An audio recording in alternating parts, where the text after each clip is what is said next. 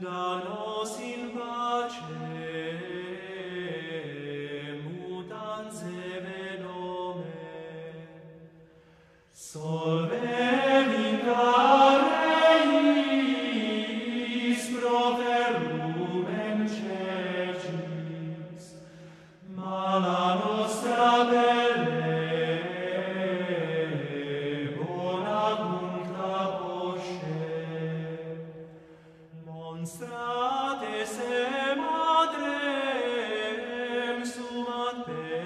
preces,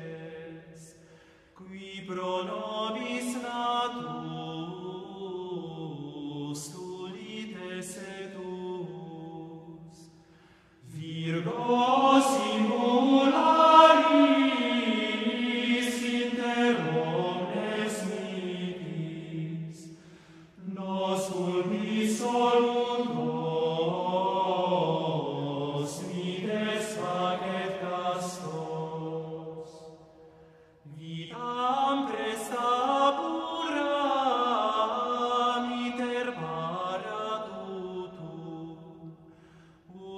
vivientes Iesum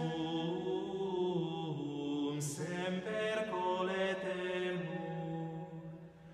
si claus eo Patris sum o Christo nemus Spiritui Sanctus